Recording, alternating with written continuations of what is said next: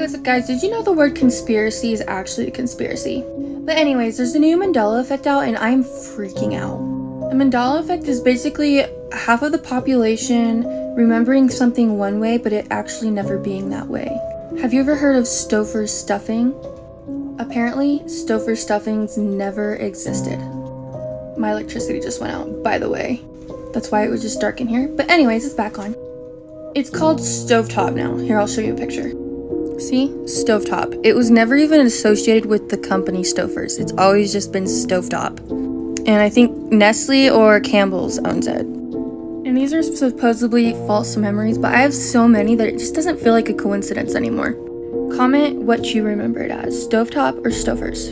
And tap the plus to follow for more weird conspiracies like this, and if you want to know why the word conspiracy is actually a conspiracy.